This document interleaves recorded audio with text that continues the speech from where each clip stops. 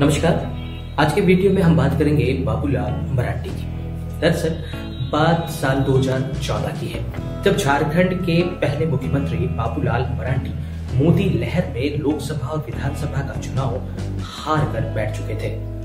उस वक्त राज्यसभा के चुनाव होने वाले थे। भाजपा के तत्कालीन अध्यक्ष अमित शाह ने बाबूलाल मरांडी की लोकेशन पता की, पता चला कि वे कोलकाता में मौजूद हैं।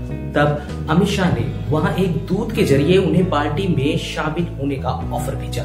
बाबूलाल मरांडी के लिए राज्यसभा जाने के दरवाजे खुले थे, मगर उन्होंने भाजपा में वापसी का ऑफ़र ठुकरा दिया।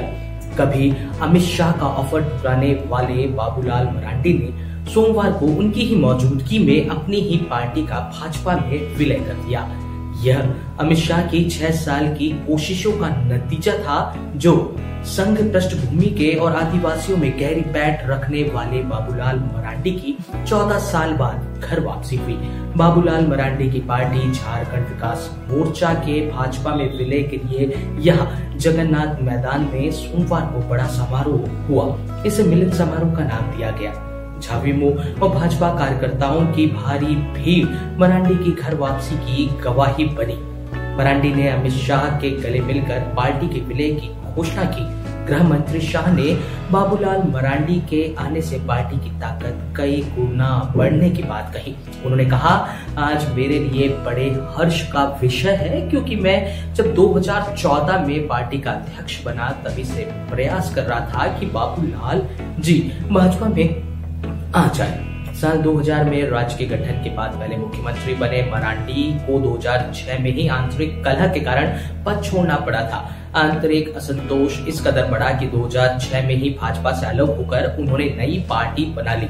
मरांडी की घर वापसी कराने में भाजपा के प्रदेश प्रभारी ओम माथुर ने सूत्रधार की भूमिका निभाई। खुद इस बात की पुष्टि बाबूलाल मरांडी ने सभा के दौरान कही।